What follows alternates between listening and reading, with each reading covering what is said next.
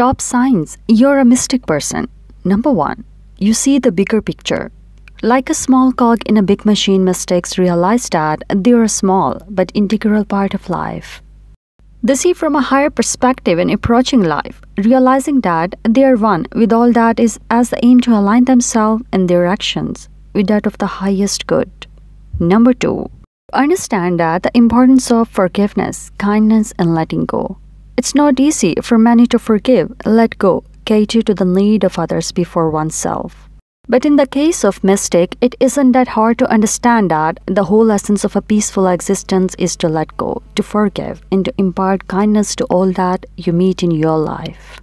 It's a good karma that paves way for our soul's journey, and mystics understand that. Number three, you purify your soul of attachments.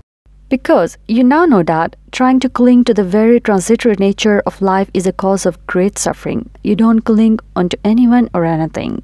You love people, you love the world around you and all that it holds, but you don't create attachments. Basically, you live in the world, but you are not of the world. You have a loss of interest in competition. You realize that competition brings suffering and conflict, and that the only way to live in harmony with others is by having a compassionate and loving attitude towards them. Your wisdom is your own. The things you know, you know them for your soul. Your wisdom is your own. Your wisdom does not come from what others have spoken or written, but rather from deep within yourself. You can see through people. You might be hanging out with a new friend who seems charming or out on a date. However, your intuition is totally on point if you can see through the fake smiles. You didn't fit in with children your age. A mystic is not as absorbed in the interest of others in their group. Hence, you find it more difficult to make friends with them which can occasionally be problematic for them because they can feel like an outsider. Additionally, he is frequently misunderstood by others. For example, some people may have just considered you to be awkward or shy. But your intelligent and inquisitive nature attracted you towards people who display more wisdom and intelligence than those in your age group. You like being alone, you continually seek out higher understanding and are incredibly introspective about life. You aren't materialistic.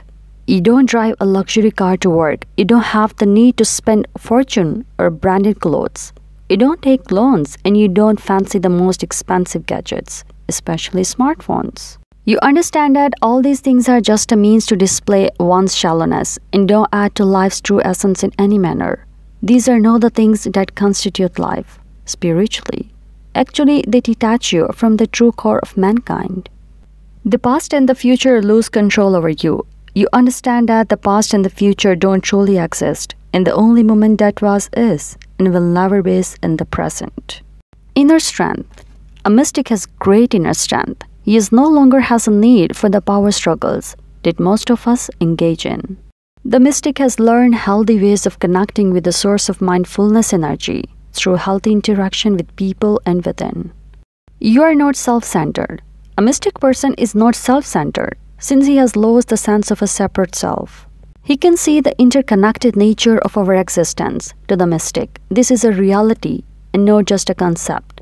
Moreover, the mystic realizes that all physical manifestation depend on each other for their survival. So, are you related to these signs? Please let me know in the comment section below. I hope you like this video. Thank you for watching.